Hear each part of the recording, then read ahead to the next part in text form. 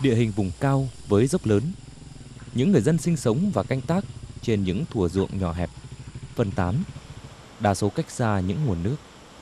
Họ phải tìm cách dẫn nước để cho sinh hoạt và trồng cấy. Người dân vùng cao như người Thái, người Mường là những người thạo canh tác lúa nước. Họ đã sớm nghĩ ra cách thức để dẫn nước phục vụ việc sản xuất. Nguồn nước được dẫn theo nguyên lý đơn giản, chảy từ cao xuống thấp.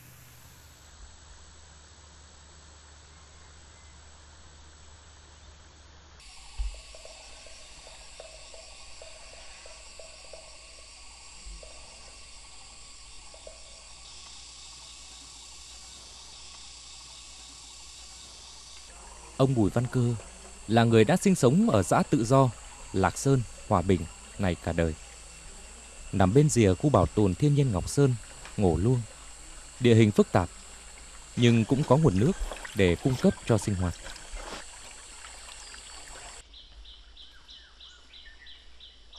Nước ở đây chảy từ trong những khe núi, qua lớp đá vôi và lá cây rụng.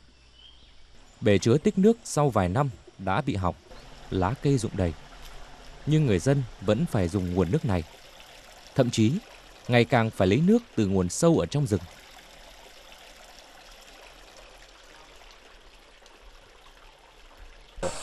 Từ xưa, các cụ từ khi khai sinh lập nghiệp về sinh sống ở đây chúng tôi là người dân tộc. Thì lúc đầu các cụ cũng chặt những cây bương, cây này về để bắt cái máng này. Thì cứ mãi kế tiếp ngày sau con cháu thấy là đấy là một cái kinh nghiệm để làm để phát huy. Nhưng mà núi tiếp cho đến ngày nay. Đường máng dẫn nước này đã được ông cơ làm hơn chục năm nay. Giờ đây đã kéo dài từ 400 đến 500 mét để dẫn từ nguồn về nhà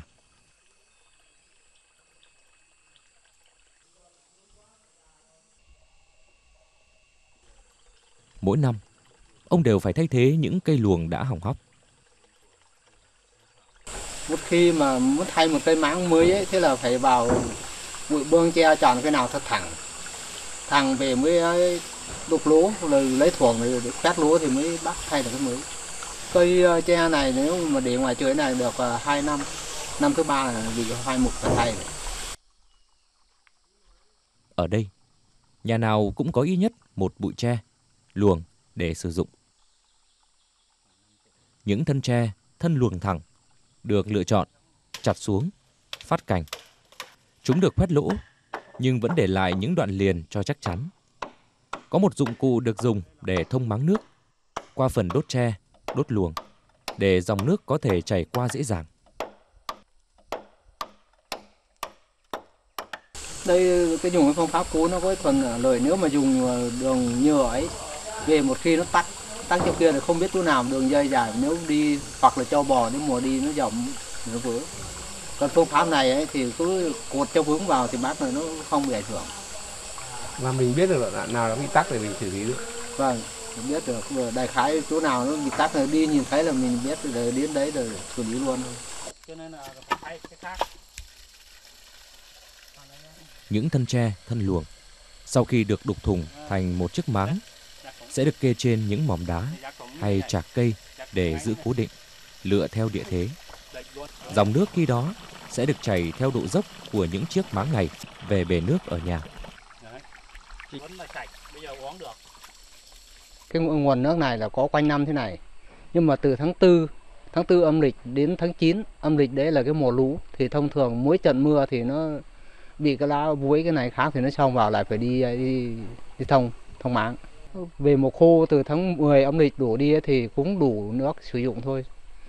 Ở đây là cái mặc dù ở đây có cấy chứ cấy khoảng đủ một hai trăm mạ làm đấy thôi còn không đất ở đây có một đồng ấy, một vụ lúa vụ màu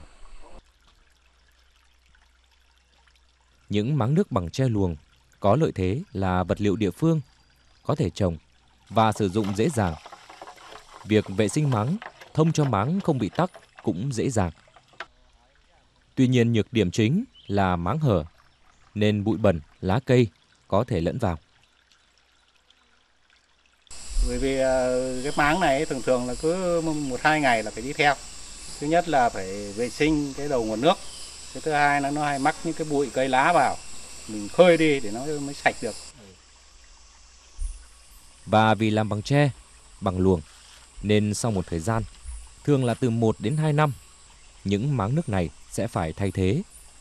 Để tăng tuổi thọ của những thân tre thân luồng, những người dân vùng cao không đẽo sâu mắt đốt. Có thể thấy ở nhiều máng nước có những mầm cây mọc ra. Chúng vẫn tiếp tục duy trì sự sống. Thì ờ, nhà tôi thì ờ, trồng cái cây ờ, cây cây này là gọi là cây bương từ thời các cụ trồng cơ. Thì mục đích là sử dụng cái cây này thì làm làm sàn nhà sàn. Cái thứ nhất cái thứ hai nó để làm bắc máng như thế này. Bắc máng dẫn nước về nhà để uống. Vì ở đây vùng 135 thì nghèo không có không có tiền để mà mua được dây. Cho nên là phải trồng cái cây bương này để để để để, để làm máng để dẫn nước về nhà.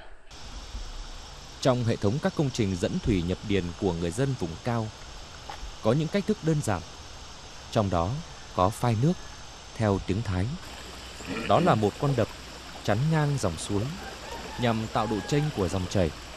Có tác dụng đưa nước vào mương và sau đó nước từ mương chảy vào các thửa ruộng bậc thang cao hơn mặt suối thông qua hệ thống máng dẫn truyền thống bằng tre hoặc bương. Cái à, bắc máng này ấy, từ cái thời năm 76 năm 76 thì bắc máng này là cái máng này trước ấy là người ta dẫn về đồng để để để để dẫn nước về đồng. Bác thì tôi nhớ cái năm 76 ấy thì đi theo các cụ thì các cụ uh, hướng dẫn chặt cây bương như thế nào đặt cây bương theo chiều như thế nào để làm nên một cái máng để nó nước nó chảy được. Nếu mà đặt sai cái chiều nó nó nó nó cong thì nó, nước nó không đi cho. Cho nên là cứ phải đặt cái cây bương này theo cái chiều gọi là cái chiều này là chiều chó nằm. Đấy chó nằm nó cứ, cứ theo cái đường thẳng như này thì nó mới dẫn nước được. Nếu mà anh cho cái này nó cong veo lên trời ấy thì nó, nó nước thì nó nó không chảy cho. Nó lại tràn ngay ở giữa cho nên là cứ phải theo cái đường thẳng. Giờ đây ở nhiều nơi, hệ thống máng dẫn này được thay bằng ống nhựa công nghiệp hoặc ống cao su, đảm bảo cung cấp nước tưới cho hàng chục, thậm chí hàng trăm hecta lúa ruộng. khi nước được đưa lên trên cao thì là à, là những con ruộng họ sẽ được dẫn một cái hệ thống nước bằng những cái ống máng cũng chính bằng những cái thân cây luồng đấy là họ đục thủng lỗ cái cái luồng ra và có những cái hệ thống dẫn nước dài hàng cây số đấy, để nước lên cao để phục vụ cho cái đời sống mà à, nông nghiệp đấy, trong cái canh tác nông nghiệp của chính người dân đồng bào dân tộc. Đấy, thì có một số dân tộc thì họ dẫn nước từ những cái con những cái mó nước hay là những con suối rồi là để về làng. Đấy tuy nhiên là cái cách chọn những cái cái cái nơi để mà họ sinh sống thì bao giờ cũng gần với cả những cái cái nguồn nước. Cái nguồn nước rất là quan trọng đối với cái đời sống của một cái làng hay một cái bản nào đó. Thế thì cái việc mà dẫn nước về nhà trước đây thì chưa có hệ thống thủy lợi hay là chưa có máy bơm hay chưa thì hầu hết là bằng những vật liệu địa phương. Họ dùng những cây luồng dài chống và dẫn nước từ mó nước về lan tỏa ra khắp các bản. Đấy là một cái cái cách cách làm một cách đưa nước rất là thú vị của cái đồng bào ở vùng cao. Tuy nhiên, kỳ công nhất, đẹp mắt nhất, nên thơ nhất là những cọn nước. Cọn nước là một sáng tạo sản xuất khá độc đáo trong hệ thống thủy lợi của các dân tộc Tây, Mường và Thái. Chứng tỏ con người đã đạt được những thành tựu nhất định về kinh nghiệm trong lĩnh vực thủy lợi dân gian. Cách tính toán lưu lượng nước, dòng chảy. Như vậy, một cọn nước gồm 3 thành phần là trục giữa, nang cọn và cánh quạt. Tùy kích thước của cọn mà lựa số nang và độ dài, ngắn của nang cho phù hợp.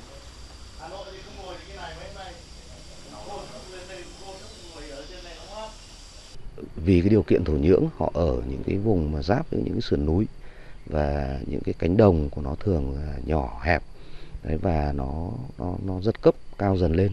Thế thì cái việc mà đưa nước lên những cái con ruộng nhỏ đấy cũng rất là khó khăn. Đấy, chính vì thế mà họ có những cái từ những cái kinh nghiệm sản xuất lao động đời sống ấy thì họ họ họ có những cái cách thức đưa nước đấy, rất là thú vị. Như các bạn thấy là những cái hình thức của cọn nước. Cái cọn nước ấy thì được kết cấu nó là một hình tròn đấy rồi là dùng những vật liệu như là tre nứa. Hay thì có nơi thì họ dùng cái lành hanh và những những cái trụ gỗ được đóng ở bên những con suối. Họ chặn và dẫn nước của những con suối đấy vào những cái cánh quạt của cái cọn nước ấy. Đấy, thì cái người à, dân tộc người mường hay người thái thì họ họ dẫn dòng cái dòng suối và cái cọn nước đấy là được múc lên theo những cái ống cái ống nước mà gắn liền với những cánh quạt à, theo cái dòng nước chảy.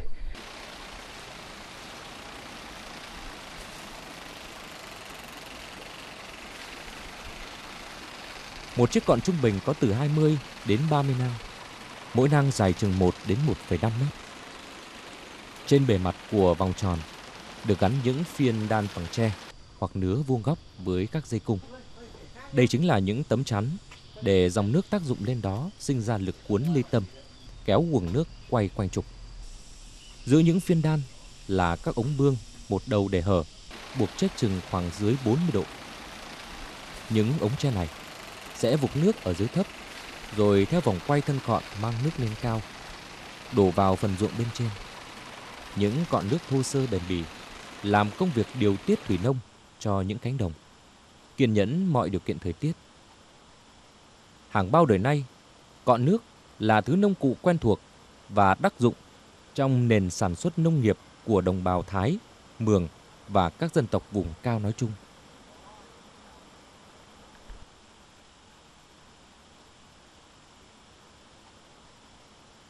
Nên dù mặt địa hình phức tạp, nhưng người nông dân vùng cao vẫn có thể trồng từ 1 đến 2 vụ lúa trên một năm, chủ động được phần nào nguồn lương thực.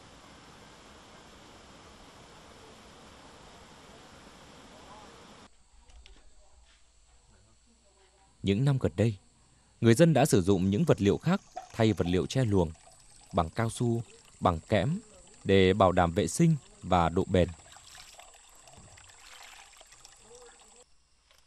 Ông Cơ cùng những người bà con sống kế bên nhà thì vẫn dùng những thân tre, thân luồng bởi giá cả của những vật liệu kia khá đắt.